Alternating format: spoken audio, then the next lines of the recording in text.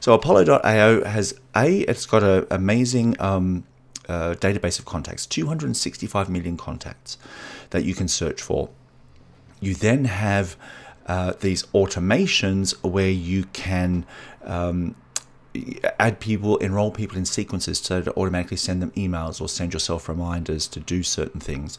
And then you also have this sort of enrichment feature where you can add notes and track your interactions and make commentary and things like that. So at your fingertips, you kind of have like a CRM, but a little bit more fit for purpose. Uh, my CRM it's it houses information, but it's not really designed to be used in this way for this engagement. And this is free. This is what I like about it most. It doesn't cost anything. Certainly for entry level, it's free. There's advanced features that you can pay for if you want, but we'll get to that in a moment. So here's what it looks like. Here is the um, the homepage is nothing special. It's just, you know, onboarding and dashboards and stuff like that. But I haven't barely used it, so there's nothing to show you there. But this is the database. You can see 263 million. Now, are they all accurate? Maybe not. People have changed roles. Maybe the contact information isn't accurate, but it's a good place to start. So I'm going to say search for a director of customer success. You know, you, have got a bunch of filters. Um, and you can choose which ones you want to use, which ones make sense based on your ideal customer profile. Uh, so I'm just going to pick this, Director of Customer Success. Uh, let me say location is United States and the United Kingdom. They're my two primary markets. I mean, I work with clients all over the world, but they're my major two. And let's say because I'm focused on a department, not the whole business, I need a reasonable number of employees because you know if I'm looking for a customer success team, then I need a reasonably large company in order to have a team. Otherwise, it's just going to be one or two people, which is not my market. I want I want people with a team. So now let's return this list of customer success directors. I've got some filters here where you can descend or ascend the results for the sake of time, let's just pick Josh. So if I right click on Josh, we will go straight to his LinkedIn profile where I can then take a quick look and see, oh, okay, well, is he a valuable prospect? Is he somebody that might fit my profile? Um, he's a director of customer success, tick. He is uh, active on LinkedIn, only posted a week ago, so tick. And he's reasonably new to the role, which is ideal for my particular programs, but obviously been with and, and reasonably new to that, that business as well, one one year and seven months. So overall, fits the bill nicely in terms of at least an initial prospect that I might be interested in learning a bit more about. Now you'll see on the right here that this um, this has opened up this dialog box and it automatically popped up so that I can then search for additional information if I want you know, uh, activities, email address, that type of thing. But let's say I think, great, Josh is somebody I'm interested in out reaching out to at some point. I can save the contact, which is now going to save it to Apollo.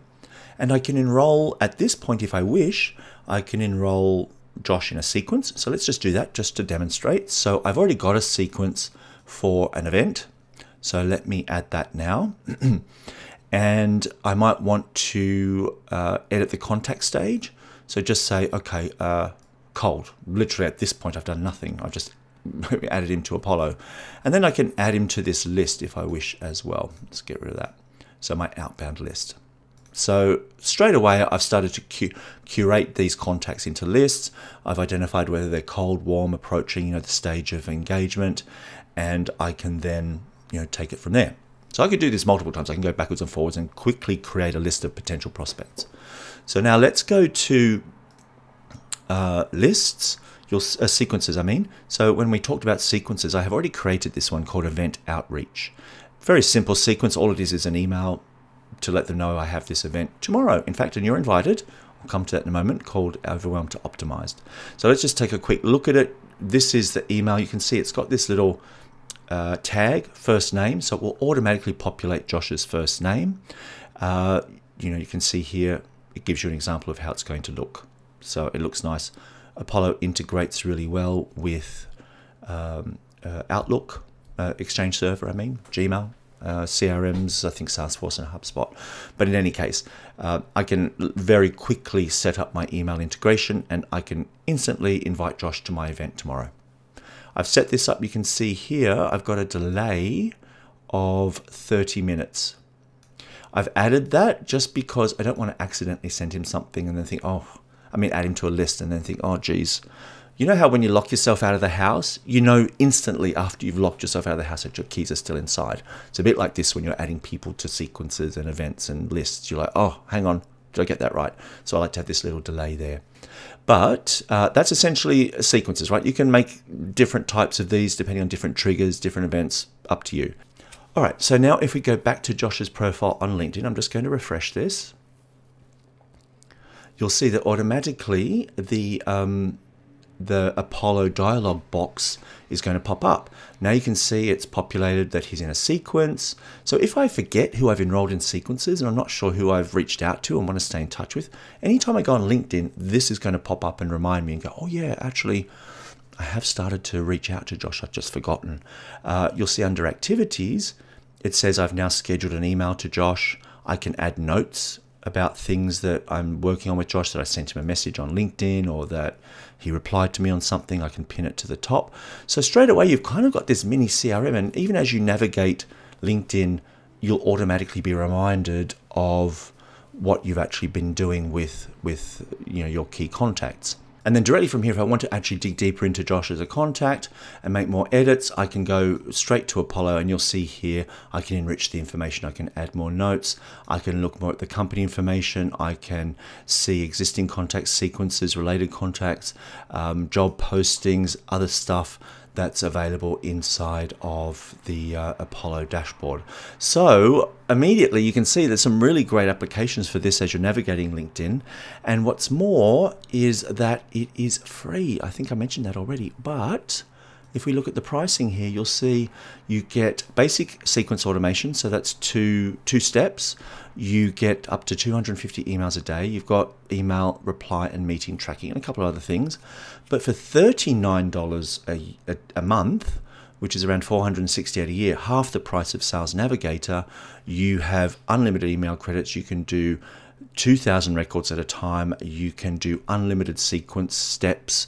Uh, there's other fields like manual steps you can do. Let's have a look at this real quick. I'll show you.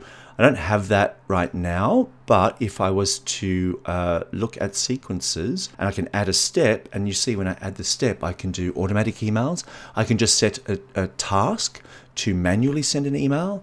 I can create a task to remind myself to give them a call. Uh, an actual action, you know, send send uh, leave a voicemail, comment on one of their posts. And then it's got some specific LinkedIn tasks, sending connection requests, sending messages.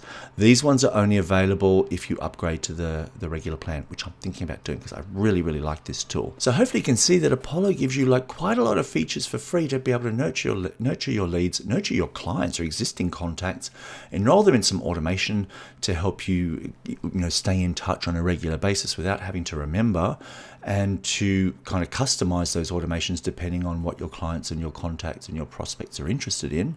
And you can do it all for free. I absolutely love it. And if you want to upgrade, it's not